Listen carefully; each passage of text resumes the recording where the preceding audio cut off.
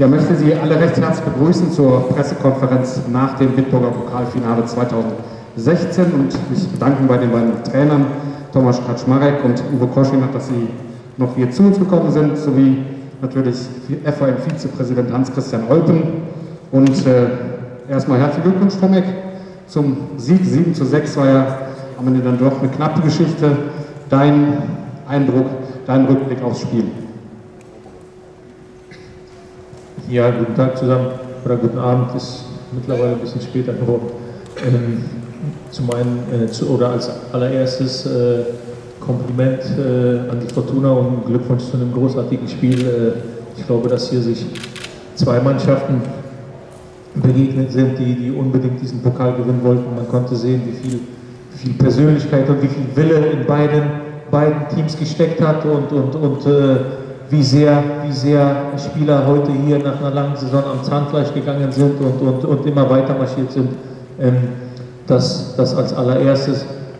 Ähm, ansonsten zum, zum, äh, zum reinen Spiel. Ich glaube, dass wir die ersten 10, 15 Minuten Schwierigkeiten hatten, dass wir, dass wir noch keinen Zugriff hatten auf die gesamten, auf, auf Aktionen der, der Fortuna, äh, zu viele einfache Standards hergegeben haben. Ich glaube, dass wir dann so ab der 12., 13. Minute uns gefangen haben und auch angefangen haben, mutiger Fußball zu spielen.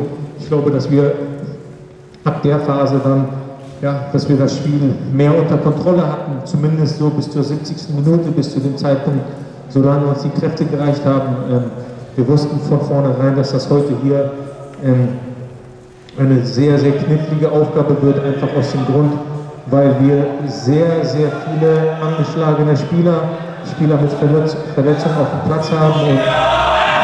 え ー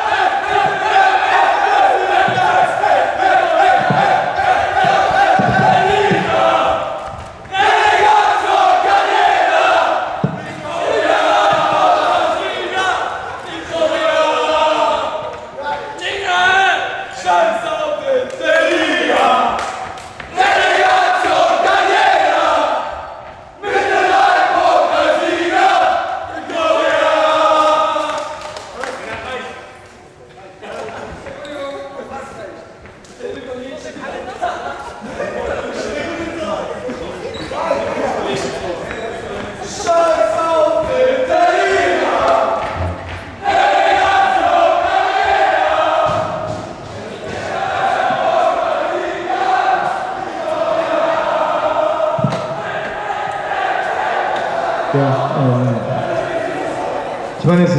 Fußball ist, Fußball ist eine unfassbare Sportart. Am Ende geht es ins Elfmeterschießen. Elfmeterschießen ist einfach, äh, hat nicht mehr viel mit Fußball zu tun. Ähm, wir sind dann in dem Fall, ich glaube, wenn man die gesamten 120 Minuten betrachtet, äh, um es kurz zu machen, ich glaube, wir hatten die etwas größeren Probleme mit der Kraft. Äh da war Fortuna nach, äh, zum Ende hin auch einfach dominanter und, und, und hatte mehr Ballbesitz. Ich glaube, was aber heute dann doch etwas mehr für uns spricht, ist, dass wir einfach ähm, eine größere Anzahl an klaren Torchancen haben. Wir haben schon vorher eine, eine Torchance durch Lukas Nordbeck zum 1-0, haben nachher durch Sebastian von Santen eine Chance zum 2-0 und durch Reimering eine Chance zum 2-1. Ähm, insgesamt, äh, ja, was glaube ich, äh, dann aufgrund der Torchancen ist es, ist es glaube ich, verdient, aber es war, es war ein sehr, sehr hartes Finale und äh, ich bin stolz, dass es uns so gelungen ist, mit diesem Titel die Saison zu beenden. Vielen Dank. Uwe, ihr habt am Ende knapp unterlegen im Elfmeterschießen deinen, deinen Blick auf das Spiel. Ja, weg vom Spiel, glaube ich, gilt es zuallererst mal, auch wenn mir das wirklich schwer fällt, natürlich äh, der Viktoria zu gratulieren, meinen Kollegen zu gratulieren. Ich denke, wenn man äh, am Ende eines solchen Wettbewerbs äh, den Pokal holt, dann hat man das verdient getan und dann äh, sollte man als Verlierer auch nicht groß rumlamentieren. Ich äh, habe das Spiel so gesehen, dass es tatsächlich so war, dass es in den ersten Minuten so wirkte wie in sehr, sehr vielen Saisonspielen, dass wir äh, eine hervorragende Anfangsphase haben und diese Anfangsphase ja, wirklich eine, eine Wirkung, glaube ich, auch beim Gegner hinterlassen hat.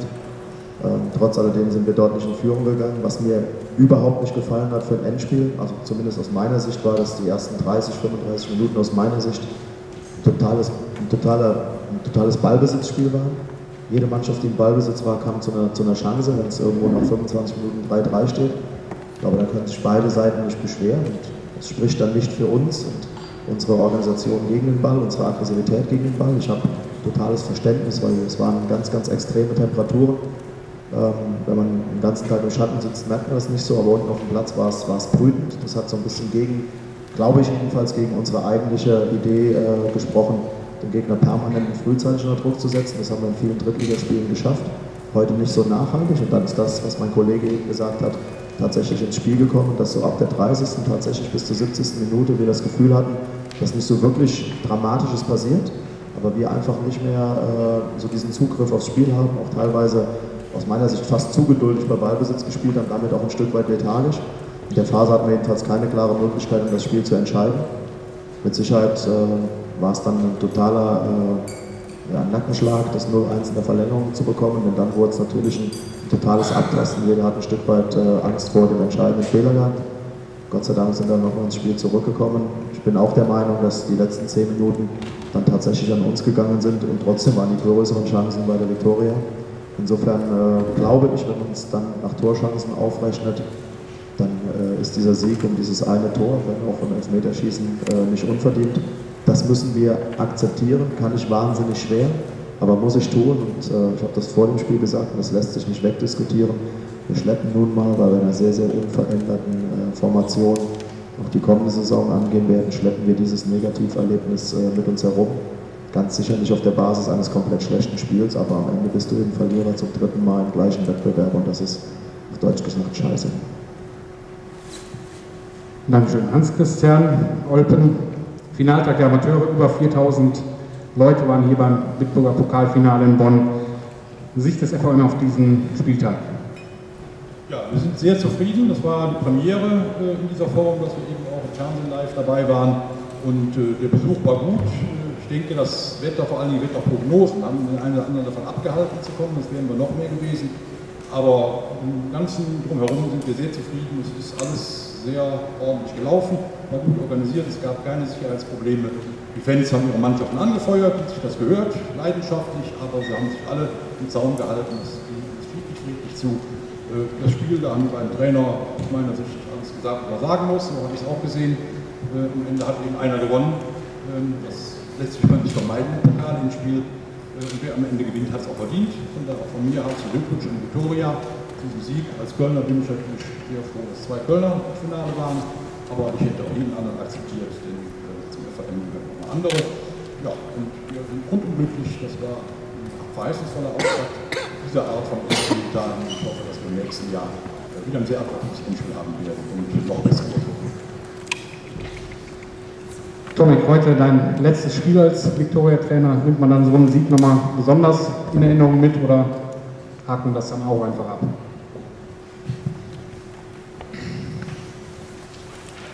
Ich habe äh, ja, einfach eben nur kurz, als ich mich von der Mannschaft verabschiedet habe, ich habe den Jungs gesagt, ich habe anderthalb Jahre äh, Tag und Nacht für diesen Verein gearbeitet, alles gegeben, was, was ich habe.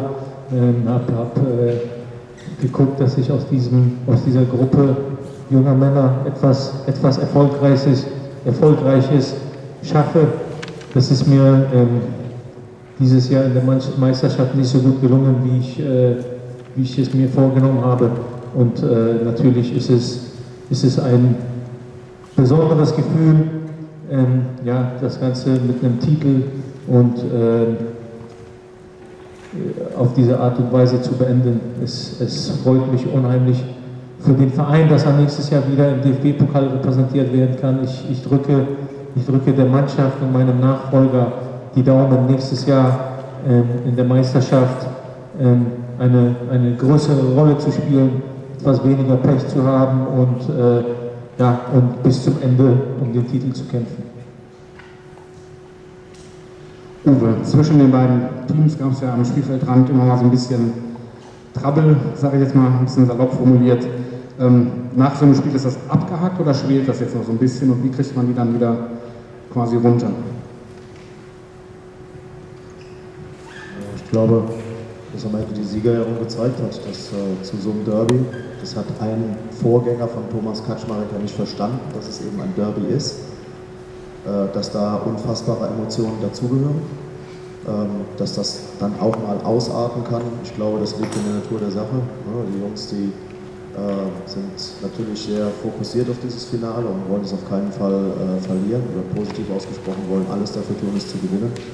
Und äh, in Verbindung mit Negativerlebnissen, auf der anderen Seite mit Positiverlebnissen, kann es dann auch mal äh, ganz kurz über die Stränge schlagen. Aber ich denke, am Ende hat man gesehen, dass beide Mannschaften sich da wieder die Hand geben können. Äh, man kann mit Sicherheit darüber streiten, was am Ende dann äh, von wem ausgegangen ist und ob es dann tatsächlich zu so einem Spiel dazugehört. Aber mir ist das deutlich lieber, als dass wir hier ein Pokalendspiel in einem Derby, ein Derby erleben würden, als Pokalendspiel, was komplett emotionslos vonstatten geht. Dafür hätte ich, keine, hätte ich kein Verständnis als Trainer.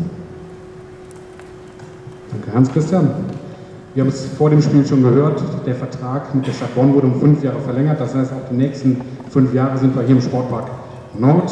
Wie sieht das denn aus mit dem Finaltag der Amateure? Dieses Jahr war Premiere, wie geht das weiter? Wird es nächstes Jahr wieder so einen Versuch geben oder war es das dieses Jahr? Ja, ich gehe davon aus, dass es im nächsten Jahr so fortgesetzt wird. Hängt natürlich nicht allein von uns ab. Einmal müssen die anderen Landesverbände, was auch alle gefunden haben, häufig das Familie aber bezeugt. Wir waren den ganzen Tag im TV präsent in Amateurendspielen. Das ist einmalig, hat es noch nie gegeben. Und es hängt natürlich von unseren Medienpartnern ab. Also wenn die AD äh, zum Schluss kommen, kommen sollte, dass sich das gelohnt hat, dass also die Erwartungen erfüllt worden sind, dann wird sie sicher mit uns auch im nächsten Jahr wieder eine solche Veranstaltung machen. Ja, und was anderes kommt für mich eigentlich gar nicht in Betracht. Ich denke, das war ein Erfolg heute. Äh, ich habe das heute tagsüber schon verfolgt. Ich war vorher noch anderweitig unterwegs. Da lief überall der Fernseher, auch im Radio wurde dauernd geschaltet und berichtet im WDR über äh, den Zwischenstand bei dem Spiel, die CSZ liefen. Also das haben heute alle mitbekommen in Deutschland, dass Fußballtag der Amateure ist. Und ich denke, das wird äh, eine feste Marke werden. Dankeschön. Gibt es aus der Runde noch Fragen an die beiden Trainer oder den Vizepräsidenten? Ähm, Tomek, zu, zu Ihrem Abschied, was wünschen Sie der Viktoria denn jetzt äh, als Gegner äh, im Pokal? Der FC, das ist ja schnell bei der doch das nächste Derby dann.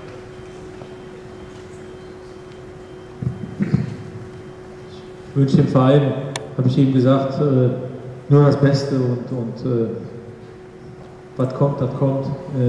Wichtig ist, glaube ich, bloß, wo man eine Chance hat, äh, eine Runde weiterzukommen. Ähm, aber das liegt nicht mehr in meiner Macht. Weiter. Tomek, zeichnet für dich, zeichnet sich jetzt schon ab, wie es bei dir persönlich weitergeht, vom Lehrgang jetzt mal abgesehen, wirst du eine Pause als Trainer einlegen? Ähm, oder im Sommer ähm, Ich will heute gar nicht über meine Zukunft sprechen. Es geht hier äh, um den Verein und, und meine Pläne sind soweit bekannt. Deswegen lass uns ähm, dabei bleiben, bitte. Vielleicht eine Frage an beide Trainer. Ähm, ihr wart ja mitten dabei, die Szene nach dem 1-1. Was ist da auf den Bänken passiert? Ich glaube, zwei, drei Spieler wollten Trikots tauschen und das wurde unterbunden. Ich habe es genauso gesehen. Gibt es noch weitere Fragen aus der Runde? Das sieht nicht so aus. Dann vielen, vielen Dank für die Aufmerksamkeit bei der Pressekonferenz.